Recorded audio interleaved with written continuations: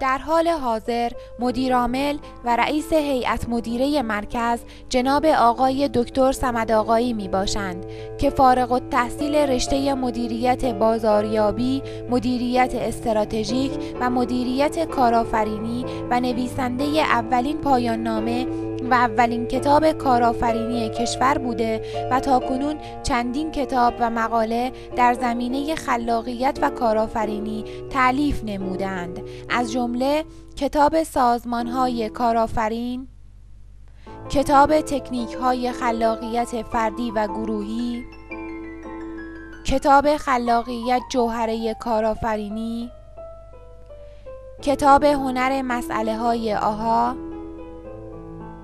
کتاب صد ایده برای آموزش مهارت‌های فکری کتاب کارآفرینی پیشرفته کتاب بازاریابی کارآفرینانه و کتاب 62 تمرین خلاقیت. ایشان در سال 1389 به عنوان کارآفرین برتر استان تهران انتخاب گردیده و دارای دهها لوح تقدیر، چندین ثبت اختراع و تندیس از جشنواره های مختلف کارآفرینی می باشند. آقای دکتر سمد آقایی دارای چهل سال سابقه اجرایی، پژوهشی، آموزشی و مشاوره در مؤسسات خصوصی و دولتی بوده و تقریبا در تمامی دانشگاه های معتبر کشور از جمله دانشکده کارآفرینی دانشگاه تهران دروس خلاقیت و کارآفرینی را تدریس نمودند و از سال 1388 اولین و تنها مدرس رسمی بین المللی خلاقیت از طرف پروفسور ادوارد دبونو در ایران می باشند.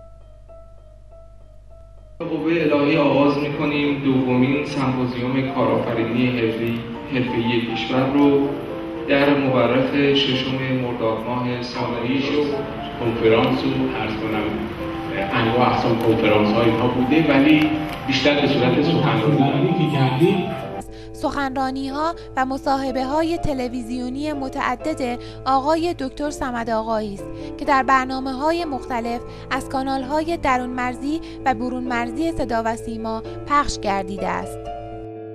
وعده ای که خدمتون داده بودم الان قراره که یک گفتگوی بسیار ویژه و خاص داشته باشیم در برنامه تصویر زندگی با همراهی جناب آقای دکتر سمد آقایی آقای دکتر سمد آقایی اینجا هستند ما به خواسته شما مهمانی علمی ما جریان داره. اما به خواسته شما یک گفتگوی اختصاصی با ایشون امروز خواهیم داشت. پیرامون خلاقیت و اصلا باشون گفتگو می‌کنیم. ذهن برتر. جامعه ای که افراد آن خلاق باشند نمی شود استعمار کرد. و مهمان ویژه و دوست داشتنی در استودیوی ما حضور دارن. جناب دکتر جلیل سمت آقایی کسی که به راحتی می‌تونه در مورد خلاقیت و کارآفرینی و رابطه اونها برای ما اینقدر قشنگ صحبت کنه که همه ای ما بتونیم ازش در زندگیمون استفاده بکنیم. حاضر بری؟ خب همجوری نمیشه.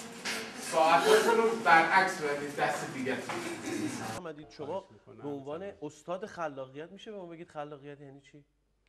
ما یه تکنیک رو عملا اینجا کار کردیم. چند تا ایده به دست آوردیم؟ یکی دو تا سه تا چهار ببینیم چی کار میشه اکثر کسایی که نگی سر نگی. برید عمل کنید. ببینیم نتیجه میده یا نه. بعد بیاین بگید جالب یا من باید میام با هم بریم من می‌خوام اینو عرض بکنم که چرا در جامعه ما کمتر به بحث خلاقیت پرداخته میشه؟ درست.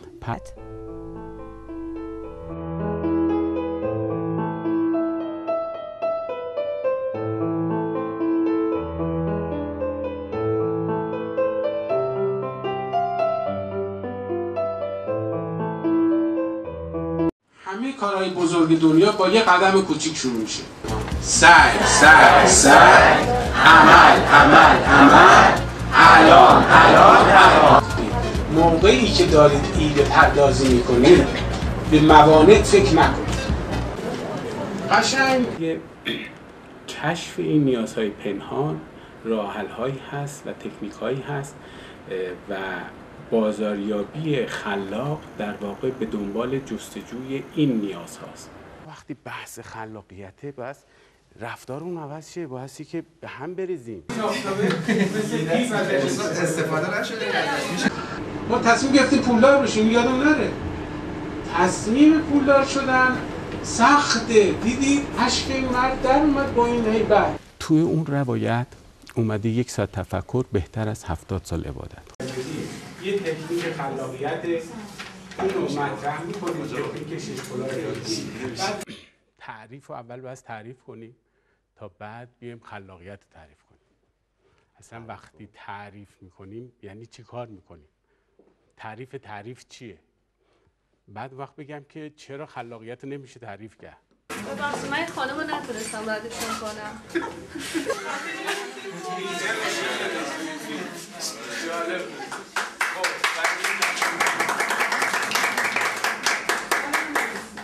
ذهنی که کشیده شد بر نمیگرده.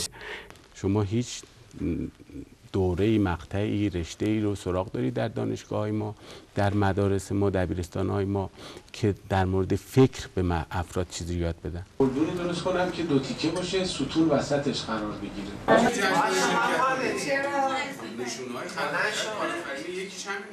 از نظر مردم اگر بخوام واقعا رسالت خودم رو انجام بدم به عنوان مدرس خلاقیت بایستی که کاری کنم که شما خوشتون نیاد. اولین تور خلاقیت و کارآفرینی کشور از اینجا شروع کردیم.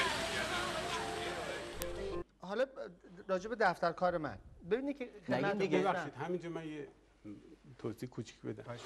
اگر اون هنرمندی که به خاطر اجتماع این ظاهر رو نشون بده اون اصلا هنرمند نیست. اونو بذارین کنار. هنرمند به طور طبیعی رفتارش متفاوت خواهد شد. و اونهای دیگری که ببخشید اینو میگم چون ما یکی از روش های گفتگو توش همینه که سراحت داشته باشیم. بله. اون کسی که دیده چهار تا هنرمند موهاشونو بلند می‌کنن و به خاطر اون رفته موهاش بلند کرده اون اصلا هنرمند نیست. و, و خیلی هم معلوم میشه. خیلی هم به نظر خیلی من الان معلوم. مخالفت کنم.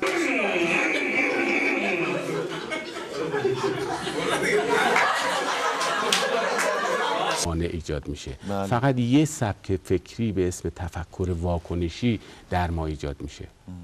در حالی که اگه می‌خواید معمولی زندگی بکنی اب نداری اجباری نیست. اما اگر می‌خواید که خلاقیت و کارآفرینی رو شروع بکنیم کلاسای آقای دکتر یک ام، آزمایشی رو مربوط به خلاقیت یاد گرفتن اه، شما می‌رفتین بله کلاسشون بله من در کلاس ایشون بودم. بد نیست.